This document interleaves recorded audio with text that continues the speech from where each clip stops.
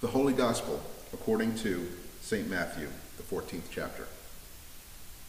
Glory to you, O Lord. Immediately, he made the disciples get into the boat and go on ahead to the other side, while he dismissed the crowds. And after he had dismissed the crowds, he went up to the mountain by himself to pray. And when evening came, he was there alone. But by this time, the boat, battered by the waves, was far from land, for the wind was against them. And early in the morning he came, walking towards them on the lake. But when the disciples saw him walking on the lake, they were terrified, saying, It is a ghost. And they cried out in fear. But immediately Jesus spoke to them and said, Take heart, it is I. Do not be afraid. Peter answered him, Lord, if it is you, command me to come to you on the water. He said, Come. So Peter got out of the boat, started walking on the water, and came towards Jesus. But when he noticed the strong wind, he became frightened and began to sink. He cried out, Lord, save me. Jesus immediately reached out his hand and caught him, saying, You of little faith, why did you doubt? When they got into the boat, the wind ceased, and those in the boat worshipped him, saying, Truly, you are the Son of God. Here ends the gospel reading. Praise to you, O Christ.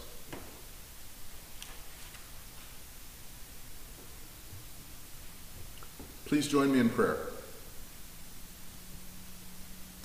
Dear Lord, may the words you place in our hearts take root.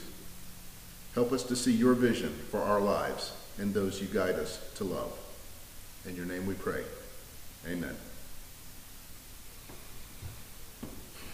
Again this Sunday, we have a very familiar gospel reading. The image of Peter sinking once he takes his eyes off Jesus is an easy one for us to visualize. We have all had major storms in our lives. Some of them we have found ways, ways to navigate on our own. Others we know that only through prayer and the help of our Lord have we survived. Some of the storms in our lives are more like hurricanes. We find ourselves in fierce storms, followed by brief periods of calmness before the storm returns again. Most of us have been affected by the loss of a loved one, loss of a job, or a significant health diagnosis. It is often hard to keep our focus on Jesus when dealing with physical and emotional pain. Just as Jesus immediately reached down and rescued Peter, we know in our hearts that the Lord will do the same for us. There are times when we ask, Why, Lord, have you placed this burden on me? Sometimes it is a very long time before we begin to understand the Lord's plan for us. It is important for us to keep our hearts and minds open. The rescuing hand of Jesus often comes in many forms. Sometimes there are people who are put in our lives to walk with us as we go through these trying times. Sometimes there are paths that are better made clear by our prayer and by the guidance of our Lord. Still other times, God shows us that our suffering and our strength during it have inspired others to continue on. When we keep our focus on Jesus, his love and his strength becomes ours. From our hymn of the day, we hear one of the key processes to keep our focus on Jesus. Verse 5 of hymn 685 reads, Take my will and make it thine. It will be no longer mine. Take my heart it is thine own. It shall be thy royal throne. If we surrender our hearts and our minds and use the gifts that God has given us to do the things that Jesus has taught us, how can we not keep our focus on Jesus?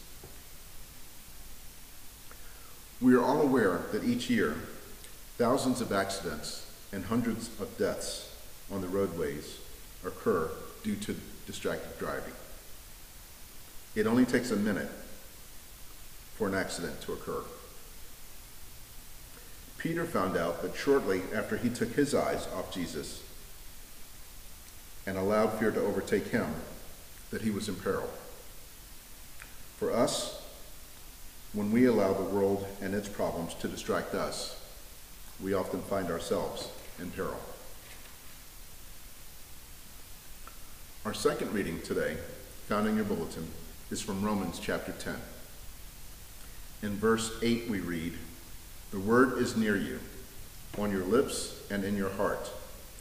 That is the word of faith that we proclaim. Because if you confess with your lips that Jesus is Lord and believe in your heart that God raised him from the dead, you will be saved. For one believes with the heart and so is justified. One confesses with the mouth and so is saved. Paul has shared with us exactly how Jesus will rescue us. The belief in our heart and the confession from our lips are all we need to be saved, both from the storms in life and for all eternity, through God's grace. Once Jesus rescued Peter, he says to him, You of little faith, why did you doubt? Peter had just seen Jesus feed over 5,000 with five loaves and two fish. He had seen him heal the sick and cast out demons. So, yes, why doubt? We too have seen in our lives the Lord's love for us and the many blessings that are in our lives and those that we love. We know that storms will come. Keep your eyes on Jesus, take his hand, and be rescued. And when it is your turn, you be that angel sent to walk with and rescue the person who needs Jesus and needs you.